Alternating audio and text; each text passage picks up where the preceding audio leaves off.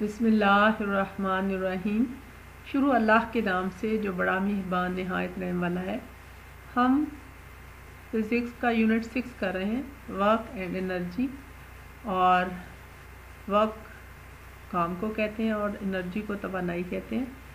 आज हम इसमें रीन्यूएबल एनर्जी की तीन डिफरेंट फॉर्म्स के ऊपर बात करेंगे, जिसमें विंड एनर्जी जियोथर्मल और बायोमैस एनर्जी शामिल है। तो सबसे पहले हम विंड एनर्जी के ऊपर या हवा से जो एनर्जी हासिल की जाती है, उसके ऊपर बात करेंगे।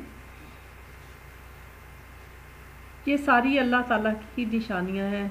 हमें इनका पहले इस्तेमाल नहीं आता था। पहले दिन से आज हम इनका इस्तेमाल सीख रहे हैं। Wind has been use as a source of energy for centuries हवा जो है, वो तोानाई का वसीले के हिसाब से सदियों से इस्तेमाल हो रही है।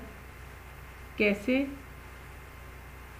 It has powered sailing ships across the oceans समुद्रों में जो बादबानी जहाज़ चलते हैं, उनको ये तोानाई देती है हवा के ज़ोर से।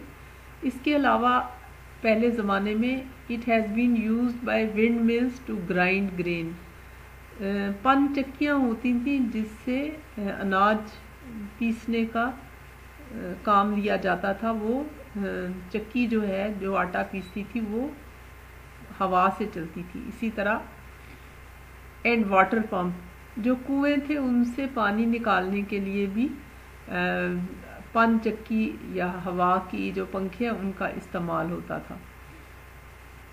आजकल के मॉडर्न ज़माने में हवा को बिजली जनरेट करने के लिए इस्तेमाल किया जा रहा है। More recently, wind power is used to turn wind turbines. Turbines जो होते हैं वो पंखे होते हैं हाल ही में हवा की ताकत को हवाई पंखे जो हैं उनके लिए इस्तेमाल किया जाता है when many wind machines are grouped together on wind farms they can generate enough power to operate a power plant wind farms बनाए जाते हैं जिसमें बहुत ज़्यादा टर्बाइंस होती हैं। जब वो इकट्ठे होते हैं तो वो मिलकर एक पावर प्लांट को चलाते हैं। In the United States some wind farms generate more than 13 megawatt of electricity a day America में कुछ विंड फॉर्म्स जो हैं वो 1300 मेगावाट तक बिजली एक दिन में प्रोड्यूस करते हैं। In Europe Many wind farms routinely generate 100 megawatts or more electricity a day. और यूरोप में भी बहुत सारे विंड फार्म्स हैं जो रूटीन में सौ मेगावाट या उससे ज़्यादा इलेक्ट्रिसिटी जनरेट करते हैं तो प्यारे बच्चों रीन्यूएबल एनर्जी पढ़ रहे हैं तो हमें अपने जो अल्लाह से हम अहद हमने किया हुआ है कि अल्लाह हम तेरी इबादत करेंगे, तुझी को रब मानेंगे, उसको भी तजदीद करनी चाहिए। क्योंकि जब हम दुनिया में आने से पहले हमने अल्लाह से अहद किया है। और इसी अहद को याद दिलाने के लिए अल्लाह ने मुख्तलिफ़ ज़मानों में अम्बिया भेजे और अपनी किताबें भेजी। और अल्लाह का भेजी हुई किताब का लेटेस्ट एडिशन कुरान मजीद है। और हम में इसलिए भेजा गया कि हम उसके ऊपर गौर व फ़िक्र करें, उसे सबक लें।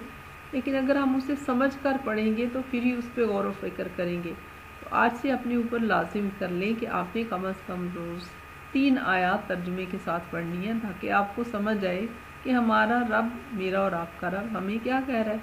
हम किस तरह अल्लाह से दोस्ती कर सकते हैं। अब हम बात करते हैं जियो थर्मल एनर्जी की। जियो कहते हैं ज़मीन को, थर्मल कहते हैं हरारत को। तो ये वो एनर्जी है जो ज़मीन के अंदर से हासिल की जाती है। In some parts of the world, the earth provides us hot water from geysers and hot springs. ज़मीन के कुछ हिस्सों में गर्म पानी के छोटे बड़े चश्मे पाए जाते हैं। आपको पता है कि ज़मीन का जो कोर है, अंदरूनी हिस्सा है, वो मोल्टन लावा बहता हुआ लावा है। There is hot molten part deep in the earth called magma इसको मैग्मा कहते हैं। ज़मीन की गहराई में गर्म पिघला हुआ लावा है जिसे मैग्मा कहते हैं। उसके ऊपर रॉक्स हैं और फिर उसके ऊपर हम सतह के ऊपर रहते हैं। आ, इसको किस तरह से किया जा सकता है? मैग्मा जो है जैसे येलो बॉक्स के अंदर आप देख रहे हैं ये मैग्मा है। और इसके ऊपर एक रेज़र वायर बनाया जाता है। पानी का। तो मैग्मा की जो हीट है, वो रेज़र वायर जो है, उसके पानी को बॉयल करती है। और वो पानी जो है, वो स्टीम की शक्ल में ऊपर जाता है, गर्म पानी से भाप बनती है और टरबाइन को चलाती है। इस स्टीम को एक टरबाइन चलाने के लिए इस्तेमाल किया जाता है, जैसे आप रेड बॉक्स के अंदर देख रहे हैं। कि स्टीम ऊपर जा रही है, उससे टरबाइन चल रही है। फिर उसके बाद टरबाइन जो है वो एक जनरेटर को चलाती है। जैसे नंबर फोर पे आप देख रहे हैं जनरेटर जो है वो ब्लू या नीले बॉक्स के अंदर है। तो जनरेटर के बाद जो है वो आता है ट्रांसफार्मर और डिस इलेक्ट्रिक मेन्स आती हैं। जनरेटर से जो है वो इलेक्ट्रिसिटी बनाई जाती है। और उसके साथ जनरेटर के साथ ट्रांसफार्मर लगा होता है और डिस्ट्रीब्यूशन मेन्स लगी होती हैं जो ग्रिड में इस तरह इलेक्ट्रिसिटी को ऐड किया जाता है। अब इसका जो दूसरा पोर्शन है, जब वो जनरेटर टरबाइन को चला लेता है तो उस पानी को वापस ठंडा किया जाता है और नीचे रेज रेज़र वायर की तरफ़ भेज दिया जाता है। तो ये इसके लिए सेटअप करना जो है वो उस पर सिर्फ़ कॉस्ट आती है, वो थोड़ा एक्सपेंसिव है, क्योंकि मैग्मा बहुत नीचे तक रेज़र वायर बनाना पड़ता है, लेकिन उसके बाद आपकी कोई खर्चा नहीं होता।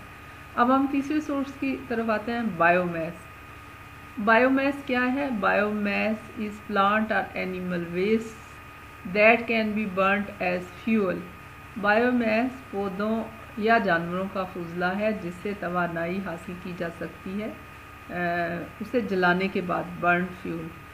तो आ, ये आराम से हासिल होता है।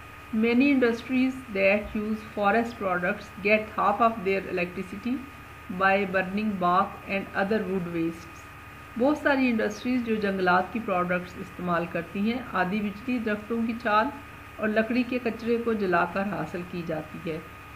वुड इंडस्ट्रीज़ में फर्नीचर पेपर मेकिंग और इस तरह की इंडस्ट्रीज़ आती हैं।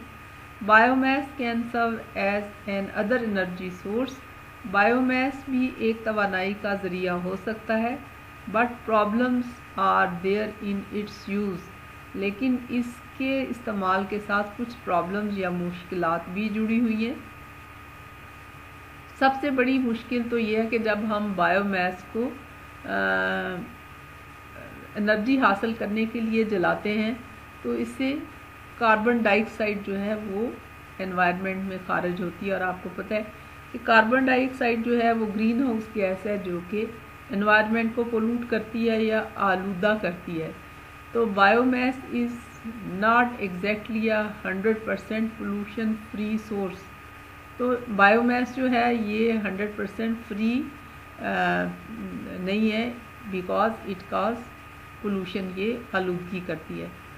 उसके अलावा जो है, हम ये देखते हैं कि when animal dung dead plants and dead animals decomposes they give off mixture of methane and carbon dioxide जब पौधे और जानवर मरने के बाद गलते सड़ते हैं तो कार्बन डाइऑक्साइड और मीथेन का मिक्सचर इनके अंदर से खारिज होता है। आप इस साइकिल में देख रहे हैं कि ये कार्बन डाइऑक्साइड पौधे लेते हैं, लेकिन जब डेड होते हैं तो खारिज भी होती है। Electricity can be generated by burning methane तो इलेक्ट्रिसिटी जो है वो can be generated by burning methane इसका भी तरीक़ेकार वो है। आप मीथेन को कलेक्ट करें बायोमैस से उसको पाइप के ज़रिए बर्न करें। उससे स्टीम से आप टरबाइन चलाएँ और इलेक्ट्रिसिटी प्रोड्यूस करें। उम्मीद है आपको सबक पसंद आया होगा इस चैनल को सब्सक्राइब।